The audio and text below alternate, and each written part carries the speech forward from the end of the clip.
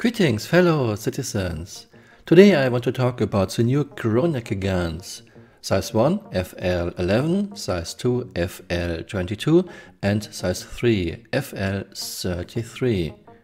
Let's go into Arena Commander and take a look at the animation and then I will show you the data.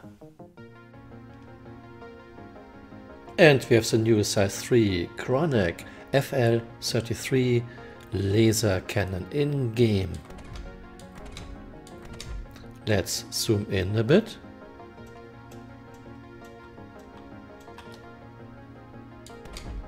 Oh, cool animation.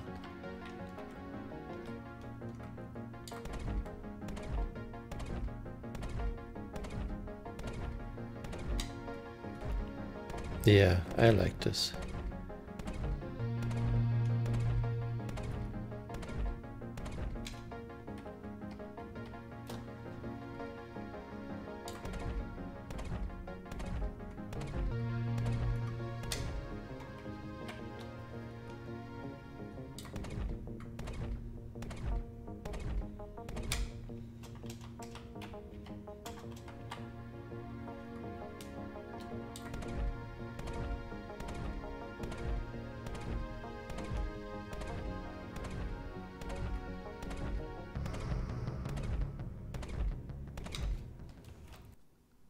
And here's all the data. I took the data from Malogos's wonderful site. Link is, as always, in the description below. And I only look at important stats. Stats like size, alpha damage, fire rate in shots per minute, DPS, damage per second, ammo speed, ammo range, ammo count, and damage physical, damage energy, damage distortion, damage thermal, damage bio, and power draw.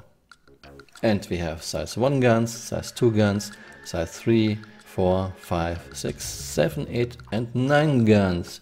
Since this is still a lot of data, I mean you can see the new guns here in red.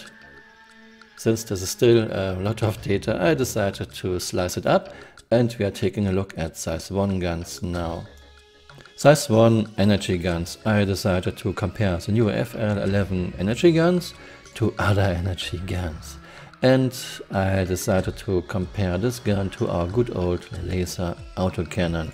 So we have an average damage of 208 for all size 1 energy guns.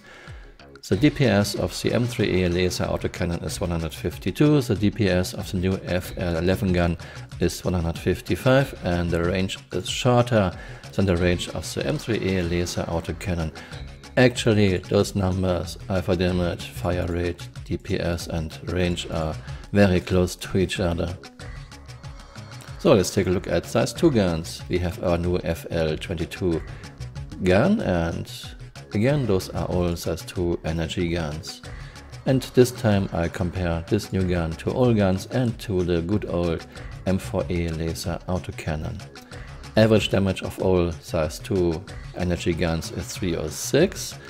The DPS of the M4A laser autocannon is 229 and DPS of the new FL22 is 242. And this time the range is very close to each other. And again, all those numbers are rather close to each other. And size 3 guns. The new FL33 size 3 laser energy gun and those are all size 3 energy guns. And this time I want to compare the new gun to the good old M5A laser autocannon. Average damage of all size 3 energy guns is 451, the damage of the good old M5A laser autocannon is 344 and damage of the new FL33 gun is 375. And this time the range is very close again to our good old M5A laser autocannon and here all those numbers are again rather close to each other. So should you use the new guns? CIG is giving us a lot of options, coolers, power plants, shields and guns. So take a look at the numbers and pick what's best for you.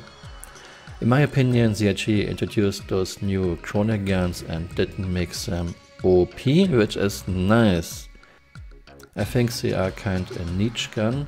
Yeah, something new, something new you might use, but not something you must use and not something you must have.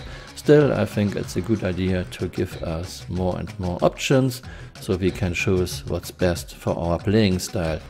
Obviously, the first question should be what guns do you want to use? Do you want to use energy guns or do you want to use guns that do physical damage?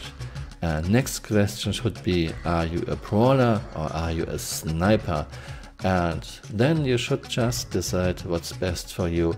You can rent those guns or you can buy them in the universe, you can test them and if they are not to your liking you can just change your guns until you find one that's better.